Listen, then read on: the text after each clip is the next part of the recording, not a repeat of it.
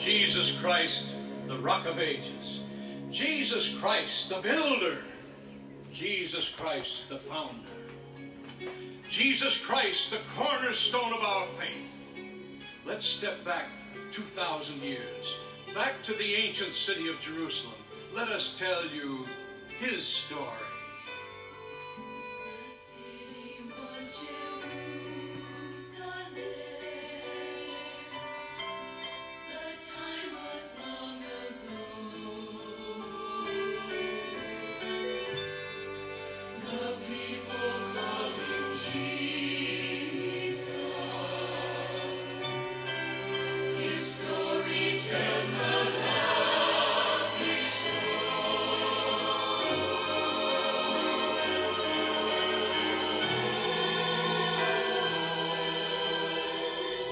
As his story unfolds, we see crowded streets, for the city of Jerusalem is filled with excitement.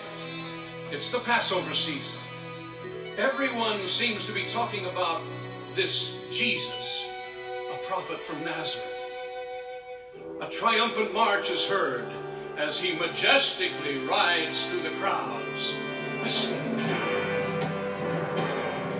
And if you'll listen further, you'll hear the people thronging the way, singing, Hosanna! Hosanna! Blessed is he who comes in the name of the Lord!